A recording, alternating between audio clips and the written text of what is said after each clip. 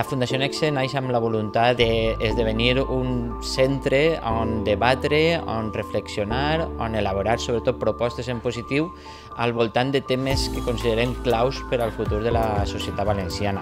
És per això que organitzem workshops com aquest, el segon workshop internacional d'identitat i cultura, per a posar èmfasis en aquests aspectes que pensem que ara per ara són importants definir per a que construïm entre tots un futur millor per al poble valencià. Desafiament i oportunitat per construir un sistema de radiotelevisió nou. Són dos paraules que tinc al cap des d'abans de fer-me càrrec dels mitjans públics valencians.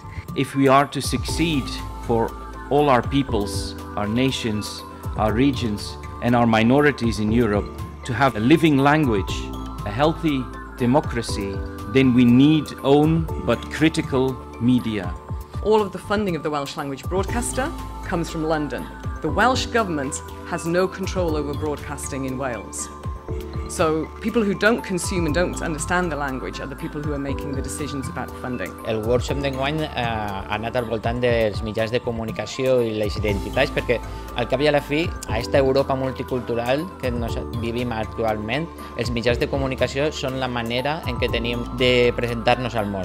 The, the central government doesn't do anything for Frisian and I don't think this is because they don't care about the language and culture but it's just because they don't know anything about it. The Gaelic media have a high penetration into the Scottish market.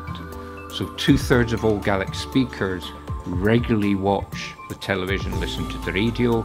Les generacions més joves consumeixen eh, més digital que televisió, ja ho sabeu, i per això per un mitjà com nosaltres, uns mitjans per nosaltres, això és un problema barra repte. Aquestes televisions privades en la majoria de països europeus s'estableixen un terreny de joc i s'estableixen unes obligacions, unes responsabilitats per part de les televisions privades. Uh, com que aquí no hi havia cap debat, no hi havia cap definició del que era el servei públic de televisió, no se'ls va exigir pràcticament res.